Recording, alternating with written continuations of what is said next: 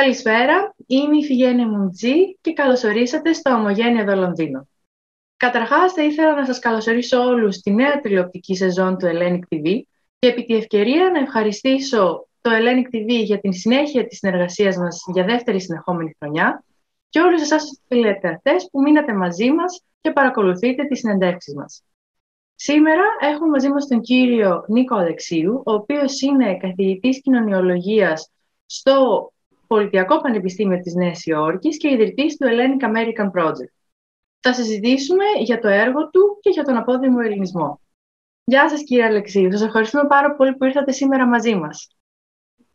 Ε, εγώ ευχαριστώ πάρα πολύ και ιδιαίτερα που έχουμε έτσι, αυτή την ε, τηλεδιάσκεψη και μάλιστα με τη διασπορά ε, του Λονδίνου και της, ε, και της Αγγλίας, γιατί έχω κι εγώ μια κόρη που ζει και εργάζεται ε, εκεί, οπότε αγαπώ πάρα πολύ την ελληνική διασπορά ε, που βρίσκεται ε, εκεί στην Αγγλία. και χαίρομαι και ιδιαίτερα έτσι, για, για το ενδιαφέρον σας που έχετε για τα δρόμενα ας πούμε, όλης της, διασποράς, της ελληνικής διασποράς, όπως είναι αυτή της Αμερικής. Ευχαριστώ πολύ για την πρόσκληση. Και χαίρομαι που είμαι και ο πρώτος στη νέα σεζόν. Εύχομαι να πάνε όλα καλά. Σας ευχαριστούμε πάρα πολύ. Καταρχάς, να χαίρεστε την κόρη σας. Είναι πολύ σημαντικό να έχουμε Έλληνες ερευνητές στο εξωτερικό που διαπρέπουν. Και κατά δεύτερον, να σας ευχαριστήσουμε που ήρθατε να μας μιλήσετε για τον απόδημο ελληνισμό, γιατί όπως γνωρίζω, ε, είστε σπουδαίος κοινωνιολόγος και ερευνητής πάνω στο θέμα. Και με την ευκαιρία αυτή μπορείτε να μας μιλήσετε λίγο για το Hellenic American Project. Καταρχάς, τι είναι, Ποιος είναι ο σκοπός του και για ποιον λόγο θεωρείτε το σκοπό του σημαντικό. Ναι, ναι ευχαριστώ. Ε, κοιτάξτε να δείτε, το Hellenic American Project, όπως είπατε και πριν, ε, είναι ένα επιστημονικό κέντρο που ήρθα ε, στο Δημόσιο Πανεπιστήμιο εδώ της ε, Νέας Υόρκης, το CUNY, και ειδικότερα στο Queen's College. Το CUNY είναι ένα σύμπλημα 20-25 ε, κτηρίων σε διάφορες ε, περιοχές ε, της Νέας Υόρκης. Και εμείς βρισκόμαστε στο Queens όπου βρίσκεται και ο μεγαλύτερος όγκος του ελληνισμού. Είναι και πολύ κοντά στην Αστόρια όπου είναι το σύμβολο της σύγχρονης μετανάστευσης ε, της ελληνικής μετανάστευσης. Και ε, διδάσκω εκεί πάρα πολλά χρόνια. Έχω ξεπεράσει τα 30 χρόνια παρουσίας μου στο Πανεπιστήμιο και επειδή ζω και έχω μια ενεργή ε, δράση στην ομογένεια εδώ, διαπίστωσα ως κοινωνιολόγος ότι δεν υπάρχει μια ε, σοβαρή έρευνα ε, για τον ελληνισμό της Νέας Υόρκης, παρόλο που είναι μια πάρα πολύ, είναι μια πόλη με πάρα πολύ ελληνισμό. Να σκεφτείτε ότι στις δεκαετίες του 60 και του 70 η Αστόρια θεωρείται η πόλη με τους περισσότερους Έλληνες εκτός ε, Ελλάδος. Και παρόλα αυτά είδε αυτό το κενό. Άλλωστε το να μελετήσει κανείς μια εθνοτική ομάδα στην ε, Αμερική και ειδικότερα στη Νέα Υόρκη ε, συμβάλλει σημαντικά και στη μελέτη γενικότερα της αμερικανικής κοινωνιολογίας για, για τις εθνοτικές ομάδες. Άρα λοιπόν είδα αυτό το έλλειμμα. Ε, και έτσι εδώ και δέκα και χρόνια ασχολούμαι ε, ειδικότερα με τον ελληνισμό της, ε, της Νέας Υόρκης και της Αμερικής γενικότερα. Η ίδρυση τώρα, η ίδρυση του Hellenic American Project είναι μια τεράστια προσπάθεια γιατί είναι πάρα πολύ δύσκολο ένα τέτοιο εγχείρημα με ποια έννοια ότι συνεχώς πρέπει να υπάρχει μια χρηματοδότηση, όπως, όπως γνωρίζεις και εσύ πολύ καλά και οι, οι φίλοι μας ε, τηλεθεατές του Hellenic TV, ότι όλη, η έρευνα χρειάζεται χρηματοδότηση. Υπάρχει μια ε, διάσταση μεταξύ του Δημοσίου Πανεπιστημίου και, και της ιδιωτικής πρωτοβουλίας, όπου ε, θα πρέπει να, να υπάρχει μια ισορροπία ε, στο πώς χρηματοδοτούνται αυτά τα, τα δημόσια ιδρύματα έγινε μια αρχή με, με την ευγενική ε, δωρεά ε, του Ιδρύματος Νιάρχους που έχει την έδρα της εδώ στη, στη Νέα Υόρκη ε, το 2011 και έτσι μπορέσαμε και ξεκινήσαμε συλλέγοντας καταρχάς τις προφορικές ιστορίες. Η, ελληνική μετανάστευση, για να σας δώσω έτσι μια γενικότερη εικόνα, η, η, η ελληνική μετανάστευση στην Αμερική χωρίζεται σε δύο φάσεις. το πρώτο μεγάλο κύμα που άρχισε το 1900 μέχρι το 1924 και το δεύτερο κύμα που δεν άγγιξε τα τεράστια νούμερα της πρώτης μαζικής μετανάστευσης αλλά εντούτοις ήταν πάρα πολύ μεγάλο 250 με 300 χιλιάδες σε σύγκριση με μισό εκατομμύριο του 1900 η δεύτερη φάση ε, έγινε μεταξύ του 1960 και του 1980 ε, μετά έχουμε μία μείωση της, ε, της μετανάστευσης προς την, προς την Αμερική και τα τελευταία χρόνια δεν υπάρχει και καθόλου με λίγες εξαιρέσεις τα χρόνια της ελληνικής κρίσης. Ε, αυτό που θέλω να πω είναι ότι είμαστε ένας ε, λαός που μετανάστευσε στην Αμερική δύο φορές μέσα στο, στον ίδιο αιώνα. Δεν υπάρχει άλλη ευρωπαϊκή χώρα που το έκανε αυτό, με ίσως λίγη μια μικρή εξαίρεση ε, ε, την Ιταλία. Παρ' όλα αυτά, δεν, δεν, έχει, δεν έχει δοθεί μέχρι τώρα μεγάλη σημασία από κοινωνικής απόψεως, από καλλιτεχνικής απόψεως, από απόψεως ανθρωπολογίας ή ιστορίας, ε, η, η συστηματική μελέτη του δεύτερου κύματος. Έχουν γραφτεί πολλά για το περίφημο Ellis Island, όπου ήταν ο χώρος που περνούσαν όλοι οι μετανάστες ε, το 1900, ας πούμε, αλλά δεν υπήρχε τίποτα για, για το δεύτερο κύμα α, μετανάστευσης. Έτσι, αρχίσαμε να συλλέγουμε ε, τις ε, ιστορίες ε, των Ελλήνων, τις προφορικές ιστορίες και δημιουργήσαμε ε, μια μεγάλη... Υπάρχει μάλιστα και μια σελίδα που έχουμε αναρτήσει αρκετές ε, από τις προφορικές ιστορίες στο hubsource.org που είναι η σελίδα του Πανεπιστημίου και, και του αρχείου μας όπου βλέπουμε την εξιστόρηση και την εμπειρία της μετανάστευσης των μεταναστών. έχουμε προχωρήσει και σε επέκταση ε, των προφορικών ιστοριών, ε, παίρνοντας και τις, ε, τις εμπειρίες ε, και των ε, Αμερικαγεννημένων. Για πρώτη φορά στην Αμερική, μετά από τις απογραφές του 2010 και την πρόσφατη του 2020, για πρώτη φορά παρατηρείται το, το, η, η μεγάλη δημογραφική αλλαγή που συμβαίνει στην Αμερικανική ομογένεια ότι οι Αμερικα... Αμερικανογεννημένοι Έλληνες αριθμητικά είναι περισσότεροι από τη γενιά των μεταναστών. Άρα λοιπόν αυτά τα στοιχεία θα μπορέσουν όταν ε, τα αναλύει κανείς, είτε αυτή είναι η εθνοτοπική σύλλογη, είτε είναι ε, η Εκκλησία ή άλλοι φορείς της ομογένειας, της οργανωμένης ομογένειας, να κατανοήσουν και την ανάγκη ε, στρατηγικής και πολιτικής τους.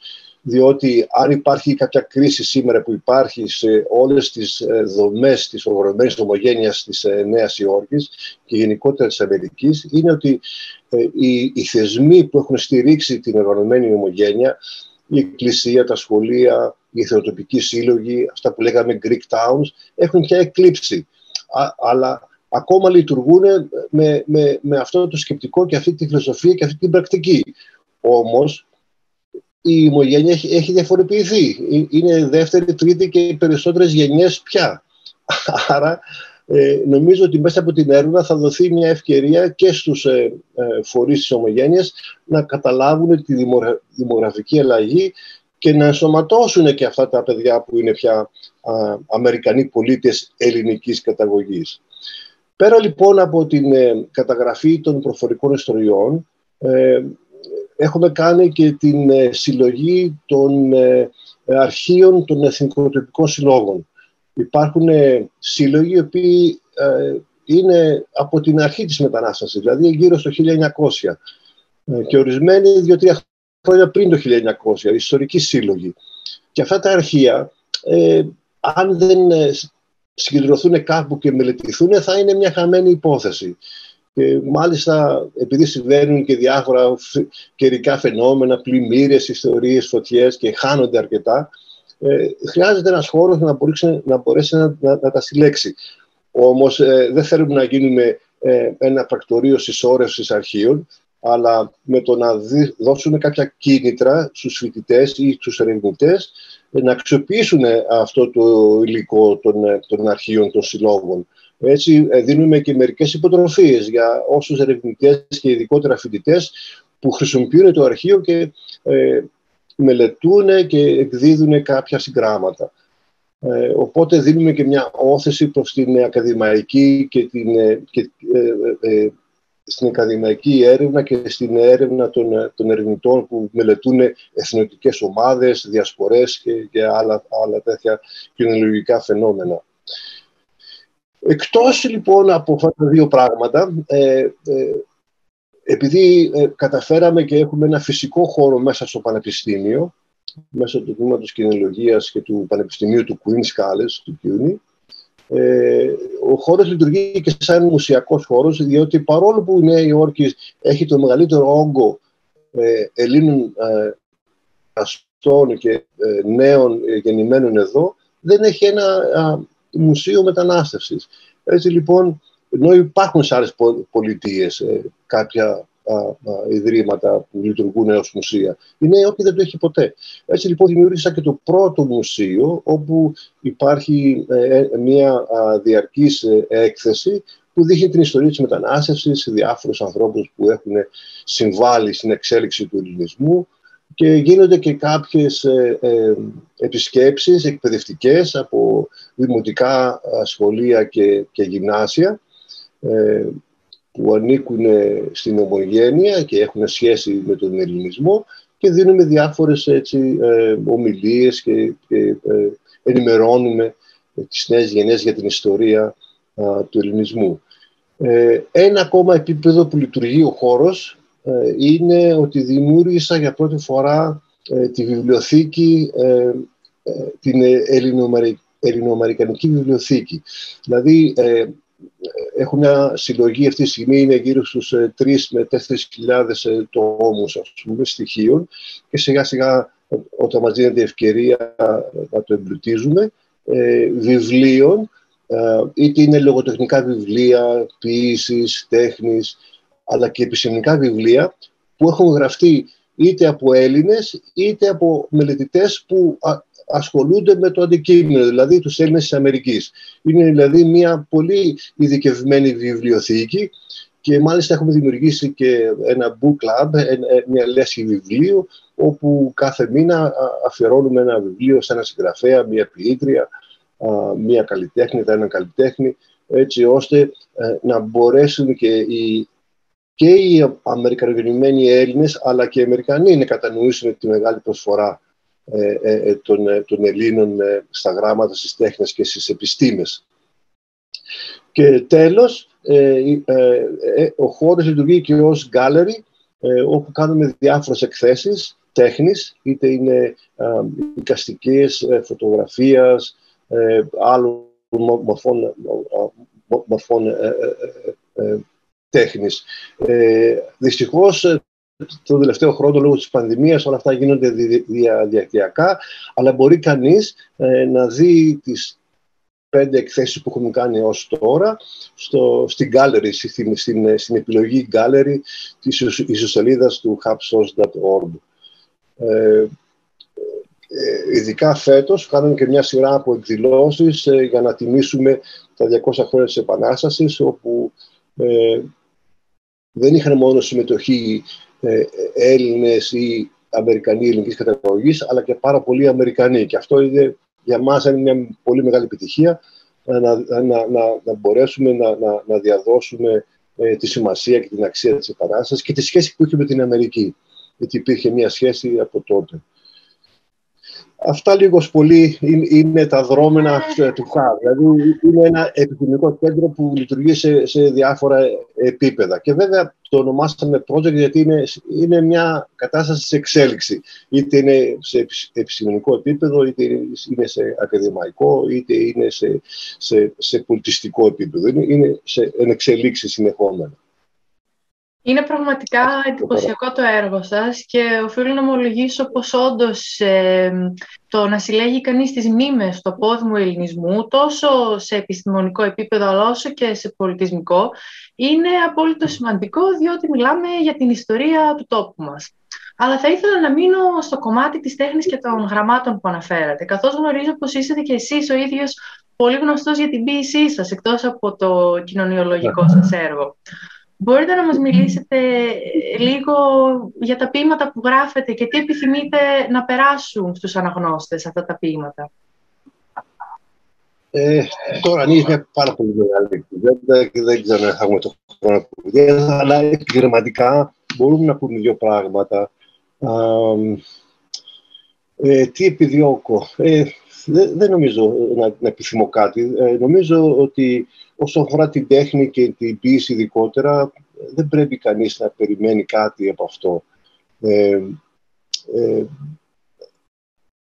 θα ήθελα να πω μια φράση που έχει πει σε ένα ποίημα του ο, ο ότι ε, η τέχνη και η ποιήση δεν μας ε, βοηθούν να ζήσουμε, μας βοηθάνε να πεθάνουμε. Άρα, λοιπόν, τι θέλω να πω με αυτό. Θέλω να πω ότι που είναι πολύ κοντά σε αυτό που έχει πει και ο Καβάφης, έτσι, ότι, ότι βλέπει η, η προσέγγιση του Καβάφη που στην ποιήση ότι είναι ψυχαγωγία και παρηγοριά. Ε, προσέξτε, έτσι, υπάρχει μια διαφορά όχι διασκέδαση, αλλά αλλαγωγή της ψυχής. Αυτό πρέπει να είναι η τέχνη η ποιήση. Πολλά αν επιθυμώ κάτι είναι αυτό, ότι ε, όποιος προσεγγίζει την ποιήση και αν κάποιος έχει την, ε, την καλοσύνη να διαβάσει και τα δικά μου κείμενα, είναι αυτό, είναι αυτό. Είναι να μπορέσει να, να, να δώσει κανείς ε, μία, α, μια κατανόηση της, της πραγματικότητας. Γιατί αυτή είναι και η δύναμη άλλωστε της ποιήσης, έτσι δεν είναι, η, μετα, η, η, η μεταμόρφωση. Ε, ότι ε, πρώτα απ' όλα να μην ξεχνάμε ότι η ποιήση είναι τέχνη. Ε, και, σαν, και σαν τέχνη θέλει ε, δια, ε, ορισμένα συστατικά, πολύ κύρια. Δηλαδή, ε, χρειάζεται αφοσίωση, χρειάζεται γνώση, χρειάζεται ε, επιμονή, χρειάζεται υπομονή, αλλά κυρίως χρειάζεται αγάπη και σίγουρα ε, ειλικρίνεια. Ε, και έτσι νιώθω την τέχνη και την πίστη και ειδικότερα έτσι ε, προσεγγίζω και, τη, και την τέχνη τη, τη δική μου πάνω, πάνω στην ποίηση. η ποίηση λοιπόν και θα, αυτό που θα θέλω να προσδώσω στη διαδικασία της ποίησης, γιατί ο αναγνώστης είναι πάντα ο τελευταίος κριτής και ο πιο σημαντικός κριτής ε, ε, για κάθε, για κάθε έργο και για κάθε ε, ποίηση. η ποίηση είναι μια δύναμη αλλαγής, μια, μια δύναμη, μια δύναμη μεταμόρφωσης των πραγμάτων. άλλωστε, ο, για να θυμηθούμε και το μεγάλο ε, φιλέλληνα ρομαντικό ποιητή, το, το, το, Σέλι. Ο Σέλι ε, ήθελε τους ποιητές να είναι οι ανεπίσημοι νομοθέτες του κόσμου. Άρα λοιπόν η ποιήση δεν αλλάζει από μόνη της τον κόσμο, δεν αλλάζει δηλαδή την ανεργία, ε, τις καταστροφές, τις ανισότητες, αλλά μας δημιουργεί μια ε, βαθιά επιθυμία να θέλουμε να μεταμορφώσουμε ε, την, την, την πραγματικότητα που ισχύει αυτή τη στιγμή σε κάτι καλύτερο. Και αυτή είναι η μεγάλη δύναμη της ποίησης. Ε, και έτσι θα ήθελα να, να, να, να προχωρώ πάνω στην ποίηση και έτσι θα ήθελα και οι αναγνώστες ε, να αντιλαμβάνονται τη, τη, τη, την ποίηση. Ε, ο, ο, ο μεγάλος μας ποιητής, ο, ο, ο Τάσος Λιβαδίδης, έλεγε ότι η ποίηση είναι, είναι μια φανταστική σκάλα για να κόψεις ένα αληθινό ρόδο. Λοιπόν, μέσα από αυτή τη μεταμόρφωση μεταξύ, μεταξύ του φανταστικού ε, και του πραγματικού. Έτσι. Και πάντα βέβαια η, η έμπνευση είναι η ίδια η ζωή. Έτσι. Η έμπνευση δεν έρχεται από κάπου, από κάπου αλλού. Είναι, είναι η συνάντηση του, του καλλιτέχνη, του ποιητή με, με, την, με, την, με την πραγματικότητα, με, με, το, με, το τι, με το τι ισχύει. Και εκεί είναι η, η, η μεγάλη πίεση, όταν μπορεί, όταν μπορεί και ανατρέπει όλα, αυτά τα καθημερινά. Από τον Όμηρο μέχρι του, μέχρι του Παπαδιαμάντη έχουμε, έχουμε, έχουμε την ίδια συνέχεια, ας πούμε. Όταν, όταν ε, ο, ο Παπαδιαμάντης έλεγε ας πούμε, ότι ε, σαν να μην έχουν τελειωμό ε, ε, τα βάσανα και οι, και καημοί του, του κόσμου, έτσι. Ε, συνεχίζει αυτή την νομερική παράδοση. Άρα λοιπόν εκεί, εκεί νομίζω ότι πρέπει να, να είναι η πίση. Χωρίς να περιμένουμε κάτι, αλλά να δίνουμε όλοι μας την αγάπη και όλοι μας την ειλικρίνεια. Πολύ ωραία. Χαίρομαι που το λέτε αυτό, διότι έτσι φαίνεται πως θέλετε να ανοίξετε και έναν διάλογο, χωρίς απαραίτητα με κάποια συγκεκριμένη καθοδήγηση, αλλά είναι σημαντικό να υπάρχει αυτή η μεταφυσική κάπως σχέση μεταξύ αναγνώστη και ποιητή. Όμως για να κλείσουμε την συζήτησή μας, διότι δυστυχώς δεν έχουμε αρκετό χρόνο, όπως είπε και ο Καβάφης, η πόλη πάντα θα σε ακολουθεί. Τι έχετε να πείτε στα νέα παιδιά τα οποία έχουν μεταναστεύσει στο εξωτερικό λόγω της ανεργίας ή λόγω των κακών συνδικών εργασίας στην Ελλάδα και ξεκινούν μια νέα αρχή πλέον; και αυτή πάρα πολύ μεγάλη συζήτηση και κουβέντα. Σε ευχαριστώ για την ερώτηση αυτή. Ε, εγώ δεν θεωρώ ότι είμαι αρμόδιος να πω κάτι στα, στα, νέα, στα νέα παιδιά. Νομίζω ε, τα παιδιά άλλωστε ακούνε τόσα πολλά πράγματα από τους μεγάλους που ίσως να μην είναι και σωστά τις πιο πολλές φορές. Εγώ πιστεύω ότι τα παιδιά, η νέα γενιά συνειδητά ή ασυνείδητα γνωρίζει. Αυτό πιστεύω. Αλλά ε, εφόσον μου έκανες την ερώτηση, δεν θέλω να την αποφύγω. Αλλά θα μιλήσω όχι να πω κάτι στα παιδιά, αλλά επειδή είμαι ένας άνθρωπος ο οποίος έχει βρεθεί σε αυτή τη θέση. Ε, τουλάχιστον δύο γενιές πριν. Ε, σαν νέος προστατής και τον ελληνικό στρατό, δύο χρόνια ελληνικού στρατού, έπρεπε και εγώ να βρω μια εργασία, έπρεπε να δω κάτι θα κάνω. Και δυστυχώς δεν υπήρχαν ε, οι προποθέσει που θα, θα με ικανοποιούσαν στο, στον τόπο που γεννήθηκα και μεγάλωσα. Άρα λοιπόν ε, είμαι, είμαι, είμαι εμπειρικά, ας πούμε, θα, θα μιλήσω για, για, για τη δική μου εμπειρία που απεικονίζει ε, κατά κάποιον τρόπο και τη σημερινή κατάσταση. Ε, αυτό, το πρώτο που θέλω να πω και το βασικότερο όλων νομίζω είναι να μην φοβούνται. Οι νέοι μας δεν πρέπει να φοβούνται και να παραμείνουν ειλικρινείς, ε, οικουμενικοί Έλληνες. Αυτό είναι πάρα πολύ σημαντικό γιατί νομίζω ότι η οικουμενικότητα είναι η μεγάλη παράδοση ε, ε, και, και, και προσφορά των Ελλήνων της Ελλάδος ε, στον κόσμο. Και, και οι νέοι μας ε, είναι, είναι, είναι αυτοί που, που περιφέρονται πια στο σύγχρονο κόσμο με την, με την, με την ταυτότητα ενός λαού που ιστορικά έχει, έχει διαμορφωθεί ε, από, τη, από την παράδοση. Άρα λοιπόν πιστεύω ότι τα κύρια χαρακτηριστικά ε, και πάντα ζωντανά στοιχεία της ελληνικής παράδοσης ε, είναι, είναι ε, αυτό που λέμε η οικουμενικότητα. Τι θέλω να πω με αυτό; Η ελληνικότητα είναι και αίσθημα και, και αντίληψη ότι είναι και τα δυο μαζί. Δεν υπάρχει μια αντίφαση σε αυτά τα δύο πράγματα. Δεν είναι αντιφατικές οι έννοιες, αλλά είναι μια αλληλοτροφοδετούμενη ενότητα ε, έλεγε ο, ο Ελίτης σε μια του συνέντευξη ότι ε, ε, Έλληνα σημαίνει να αισθάνεσαι και να, και να αντιδράς ε, κατά, κατά ένα συγκεκριμένο τρόπο. Έτσι λοιπόν, αυτή είναι, αυτή είναι η οικουμενικότητά μας. και πιστεύω σε ένα, στην τελευταία μου συλλογή, που, στην πιο πρόσφατη συλλογή μου που λέγεται «Η ασημένια σφίγγα», έχω ένα, ένα ποίημα που λέγεται «Τα φωτεινά παιδιά» το οποίο το φερώνω στα παιδιά μου και στις καινούριες γενιές ε, σε, σε, αυτό, σε αυτό το πείμα. Ε, τι, τι είναι τα φωτεινά παιδιά; Είναι αυτοί, είστε εσείς, οι, οι νέοι Έλληνες που, που έρχεστε από τη γη του φωτός. Ε, το φως του τοπίου και των, και των ανθρώπων της, της χώρας μας και του, και του λαού μας. Γιατί όπου γίνεται και να ταξιδεύσει στην Ελλάδα, δεν μας πληγώνει μόνο όπως λέει ο Σεφέρης, αλλά, αλλά μας, μας προσφέρει και αυτή και, και με γενεοδορία αυτό το φως. Το ελληνικό φως έχει μια ιδιαιτερότητα που δεν τη βρίσκεις πουθενά αλλού. Έτσι, ακόμα αν, αν δει κανείς και τους μεγάλους Έλληνες ε, ζωγράφους, η ελληνικότητα της τέχνης τους ε, οφείλεται στο φως. Το πώς βγαίνει το φως. Δεν υπάρχουν σκιές. Άρα λοιπόν αυτό όταν, με, όταν το μεταφράσουμε και, και ως, ως, ως συνείδηση και ως συμπεριφορά είμαστε αυτοί. Άρα λοιπόν οι, οι, οι, οι νέοι μας είστε, γιατί και εσείς συμπεριλαμβάνεσαι μέσα σε αυτή τη νέα γενιά, ε, είστε οι συνεχιστές ε, αυτού, αυτού του φωτός. Είστε οι συνεχιστές αυτής της μεγάλης ε, παράδοσης που είναι η οικουμενικότητά μας. Ε, να σας πω ένα παράδειγμα ε, ένα, μια, που μιλήσαμε για την ποίηση, στα, χρόνια της κατοχής, η νεολαία έκανε σύμβολό της ένα, ένα ποίημα του Νίκο Εγκονόπουλου ε, που λεγόταν Μπολιβάρ, ο οποίος Μπολιβάρ ήταν ο εθνικός ήρωας της Επανάστασης στη Νότια Αμερική.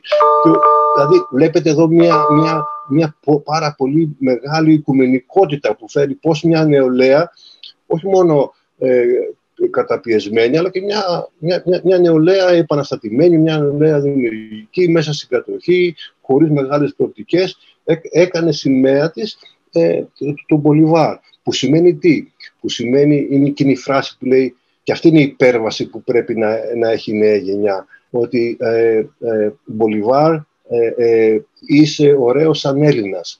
Πολύ μεγάλη οικουμενικότητα σε, σε, αυτή, σε αυτή τη φράση. Αυτό πιστεύω για τους ε, νέους Έλληνες. Ότι ε, να κρατήσουν τη μεγάλη μας παράδοση και προσφορά που είναι η οικουμενικότητα των αξιών μας, της συμπεριφοράς μας και, και της προσφοράς μας στον κόσμο. Σας ευχαριστούμε πάρα πολύ κύριε Αλεξίου. Πρέπει να πω πως ε, είναι καλό που, εμπιστεύετε, που εμπιστεύεστε εσείς τη νέα γενιά, αλλά είναι καλό και εμείς ως νέα γενιά να ακούμε τα σοφά λόγια των προηγουμένων.